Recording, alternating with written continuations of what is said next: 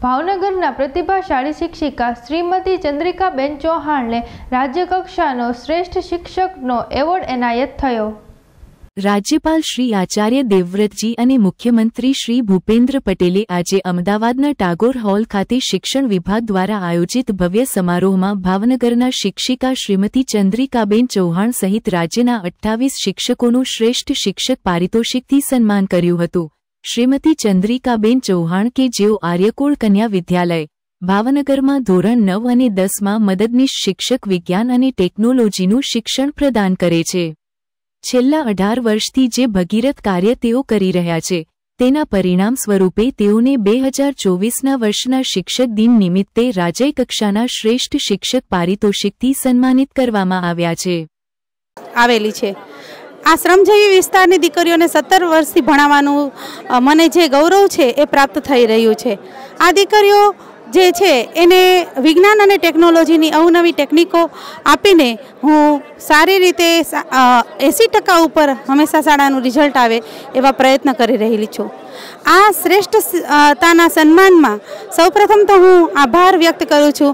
માનનીય આપણા મુખ્યમંત્રી શ્રી ભૂપેન્દ્રભાઈ પટેલ સાહેબ તથા શિક્ષણ મંત્રી શ્રી ડૉક્ટર કુબેરભાઈ ડિંડોર સાહેબ, પ્રફુલભાઈ પાનસરિયા સાહેબ, શિક્ષણ વિભાગનો અને તથા અમારા ટ્રસ્ટી અને સ્ટાફ પરિવારનો તથા મારા પરિવારજનોનો કે જેમણે આ શ્રેષ્ઠતાના કાર્યમાં મને હંમેશા પ્રોત્સાહન પૂરું પાડ્યું અને કાર્ય કરવા માટેની પ્રેરણા પૂરી પાડી. આ અમારો વિસ્તાર છે વ્યસનગ્રસ્ત વિસ્તારની દીકરીઓ જે છે એ અમારા વિસ્તારમાંથી આવે છે. અને આ દીકરીઓ જે છે એને વ્યસન મુક્તના કાર્યમાં અમે જોડીએ છીએ. અમારા શાળાનો પંચોતેર ટકા આસપાસનો વિસ્તાર છે વ્યસન મુક્ત થયો છે. આ સાથે યુવા દીકરીઓ, તરુણ અવસ્થાની દીકરીઓને સ્વામી વિવેકાનંદજીના વિચાર સાથે જોડીને એને ચરિત્ર નિર્માણના પાઠ છે એ શીખવાડવામાં આવે છે. આના માટે અનેક રચનાત્મક કાર્યક્રમો છે. એ શાળામાં કરવામાં આવે છે. સાથે તાલીમ ભવન અને જિલ્લા શિક્ષણ અધિકારી કચેરી ના અધિકારીઓનો પણ હું ખાસ આભાર વ્યક્ત કરું છું કે જે કોઈ નાણાં આપણે સેવાકીય કાર્ય હોય, નિર્ણાયક તરીકેના કાર્ય હોય કે કોઈ પણ શિક્ષણ જગતના સેવાકીય કાર્ય હોય તો તેમાં મને પસંદગી આપે છે, મારું સિલેક્શન કરે છે અને મને પ્રોત્સાહન આપે છે.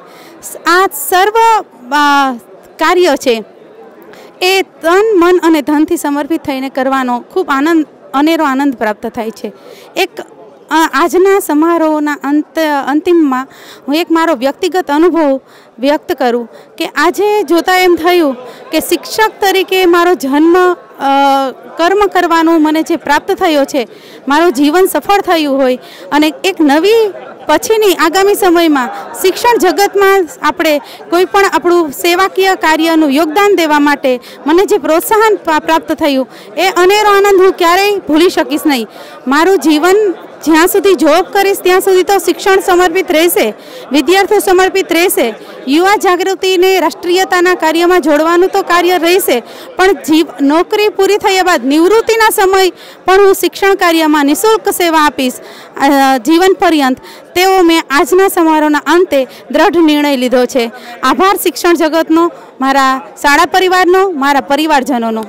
અસ્તુ, ભારત માતા કી જય.